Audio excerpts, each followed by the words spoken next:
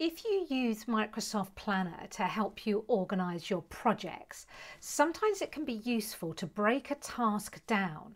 So rather than having lots of very small tasks, you could have a task and you break it down using a checklist.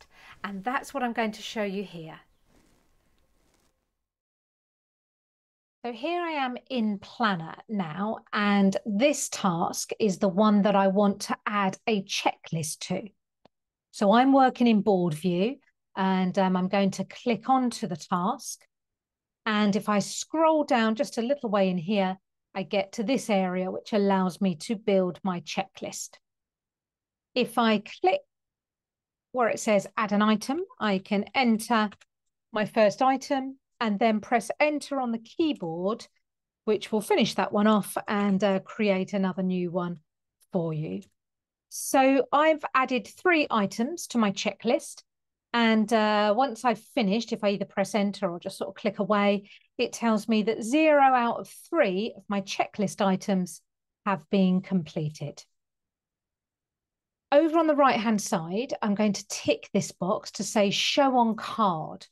So if we close this details box down, now when I'm back in my board view, looking at the card for this task, I can see those three checklist items on there.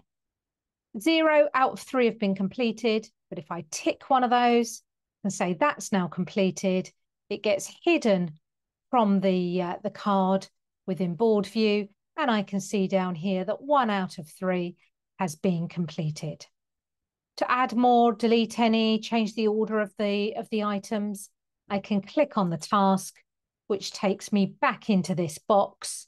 And then in here, you can tick and untick things to say they're completed or not completed. You can even move to the left-hand edge of the task. You're looking for those little dots.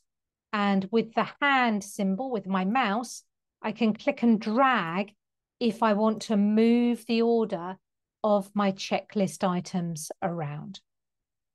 If you wanted to remove a checklist item, you can just hover over and then over on the right hand side, choose to remove that checklist item. I'm going to close this box down again. And there we go. So zero out of two of my checklist items are complete.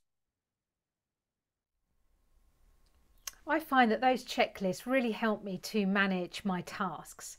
If you have any questions about this video or Microsoft Planner, or you would like to talk about some planner training for you or your team, please do get in touch.